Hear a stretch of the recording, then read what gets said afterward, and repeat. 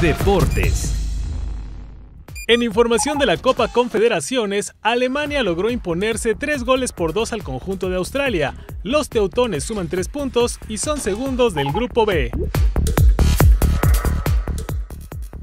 En otro resultado, México y Portugal empataron a dos en Kazán, en un partido en el que se anuló un gol gracias a la utilización del video de asistencia. El siguiente compromiso será el miércoles a la una de la tarde ante Nueva Zelanda.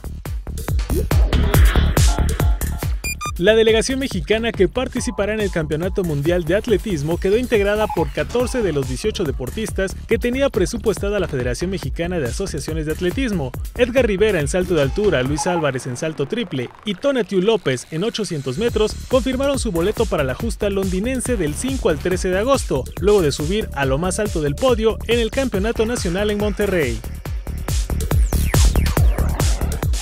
Buenos partidos de fútbol rápido tuvieron los trabajadores de la Secretaría General de Gobierno para festejar el Día del Padre en la cancha de la Unidad Deportiva del CAPSE. Diez equipos de padres de familia, trabajadores de la Secretaría General de Gobierno y algunos invitados de la Secretaría de Administración convivieron en su día. Así nos comentó la delegada de la Secretaría General de Gobierno, Alma Aguilar García. Es para que los compañeros pues ahora sí que tengan la convivencia y más para celebrar lo del Día del Padre, ya que ahora sí que no les toman como mucho importancia en otras áreas.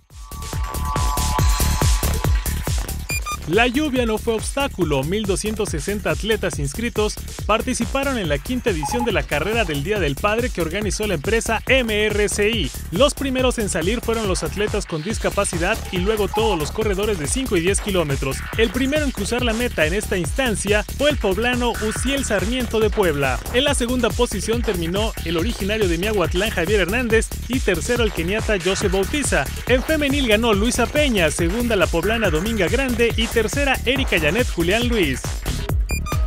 Deportes.